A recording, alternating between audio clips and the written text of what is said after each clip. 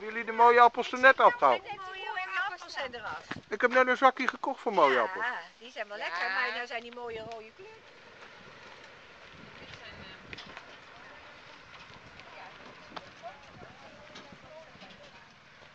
Zijn, eh, nou zijn net de mooie appels.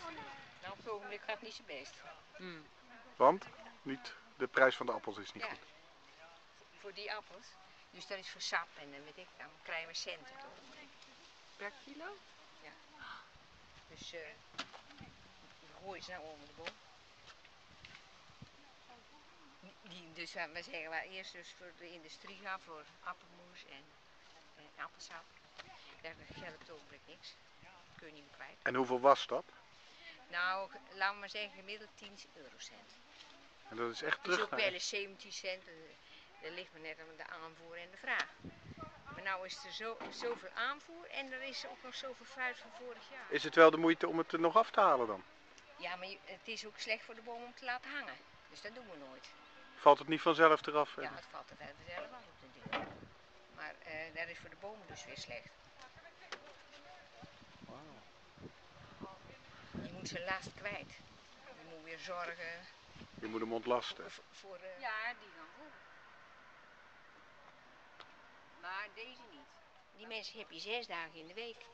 Van 's morgens half acht tot eh, vijf uur. En als het moet, als het heel dringend is, tot zes uur. En misschien wel zeven uur.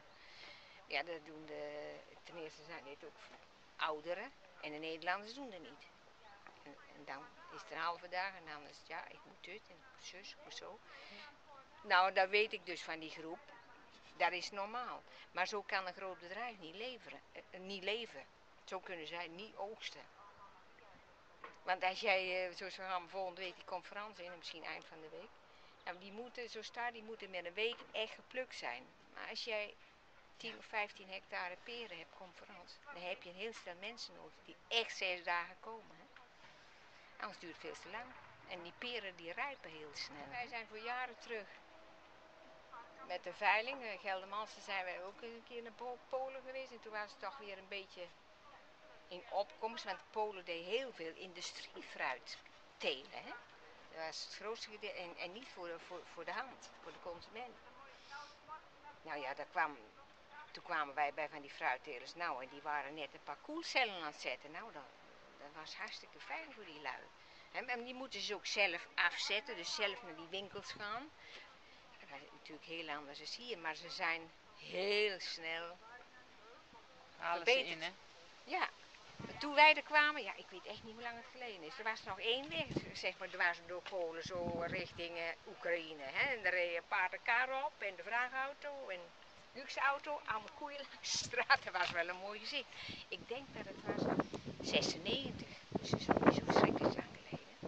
Ook echt eh, handappels eh, telen, heel veel. En dan zitten ze dichter bij Rusland, dus dan raak je die ook een beetje kwijt. En van het jaar ging het heel slecht met de Russen, want ja, je kunt er wel heen brengen, maar je zult ook geld moeten beuren. Hè? Nou, eh, dat gaat niet. En dat eh, dat hier links, dat zijn... En ze hebben de grootste mond wat betreft de gewaarsbescherming. Dit mag er niet op zitten en zus mag er niet op zitten. Ik zeg, ja, je wordt door een strandkar overreden, hè. Want als er nou iets streng in Nederland, ja, moet ik zeggen, eh, gevolgd wordt, dan is het wel de gewaarsbescherming. Wat doen ze daar? Hè? Mooi. Ja, en is het niet de Wildeman, dat is wel een heerlijk soepje. Hartstikke lekker. Ze worden getest van zo hard en zoveel suiker. Tegenwoordig kan er alles, hè. Wij kunnen het zelf ook meten.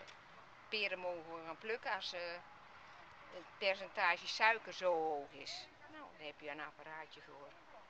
Nou, dan moet je niet eerder begin- beginnen. En dat wat, voor wat gebeurt er met deze boomgaard als jullie er echt mee ophouden? Nou, dan eh, wordt die gerooid, denk ik, want ik wil hier nog niet weg.